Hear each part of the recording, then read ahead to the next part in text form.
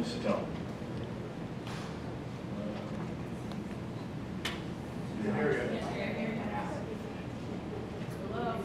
Make a motion.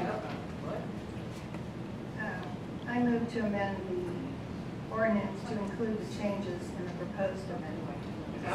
Second. Discussion. Mr. Phelps. Yeah, I would just echo the comments made by Ms. Bailey in that I thought we had reached some sort of agreement and consensus on the blue line version. Uh, No one spoke out against it um, at the time of the last meeting, and I think it encapsulates a uh, suitable resolution uh, to this issue. And I'm frankly also dismayed as to why there's a amended uh, ordinance before us. Any further discussion?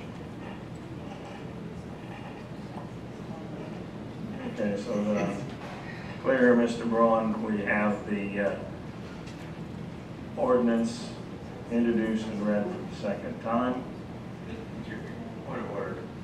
Point of order, you're, you're voting right now on whether to amend the ordinance that you will then vote on. You have to first vote on amending it.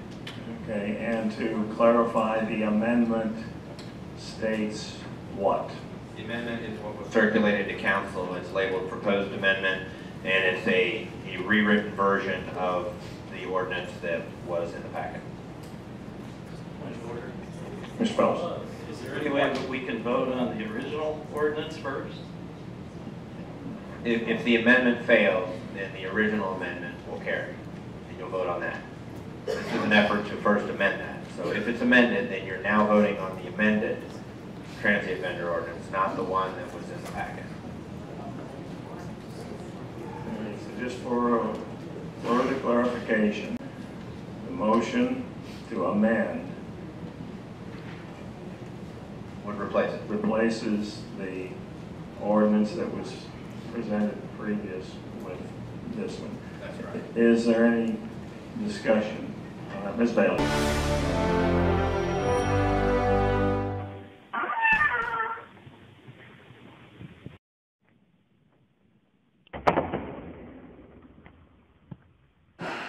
Now we're cooking with gas. Yeah, we are.